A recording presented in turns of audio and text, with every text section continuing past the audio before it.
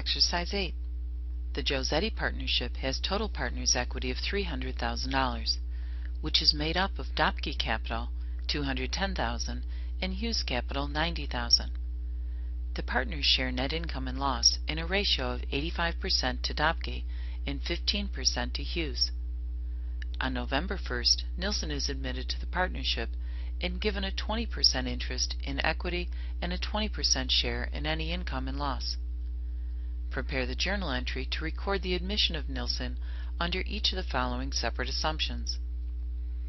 Assumption 1. Nilsen invests cash of $75,000.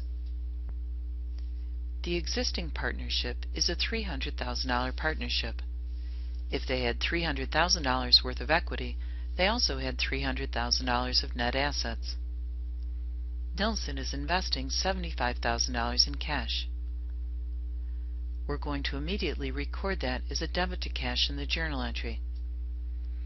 This brings the balance in new partnership assets and capital to $375,000. Nilsen is claiming a 20% ownership interest. 20% of 375,000 is $75,000. This is the balance in Nilsen's capital account.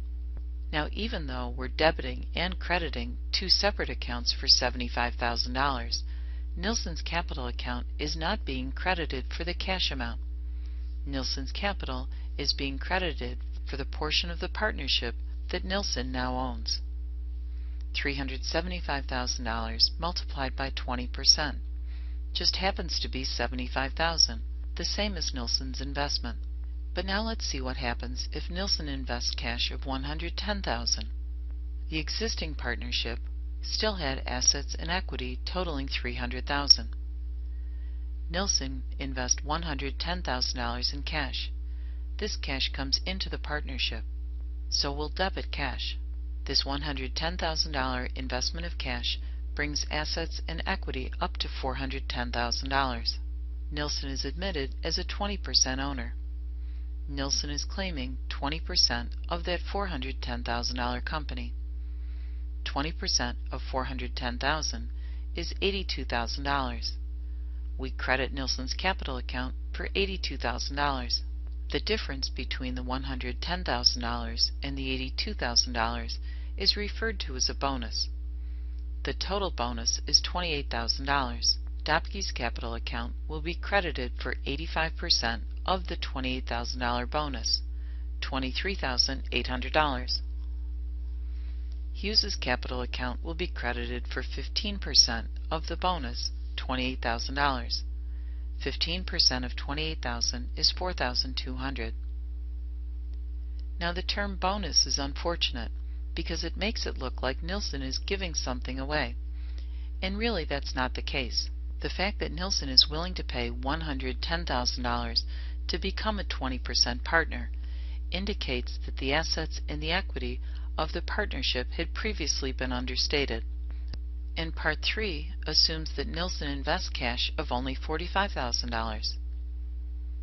The old partnership capital and the asset base was $300,000. Nilsen invests $45,000 in cash. This cash is received by the partnership bringing assets and equity up to $345,000. Nilsen owns 20% of the new partnership. 20% of $345,000 is 69,000. We credit Nilsen's capital account for 69,000. But if the assets are only increasing by $45,000, then total equity can only increase by $45,000. Since we're increasing Nilsen's capital account by a total of 69,000, we need to decrease the combination of Dopke and Hughes by a total of $24,000. This is referred to as a bonus to the new partner. So we take the $24,000 bonus and allocate it using the old profit and loss ratio. 85% of $24,000 is debited to Dopke's capital account and 15% of the $24,000 bonus is debited to Hughes. Dopke and Hughes are walking away from $24,000 of their claim against the partnership in favor of Nilsen. So they must have been pretty eager to have Nilsen as a partner.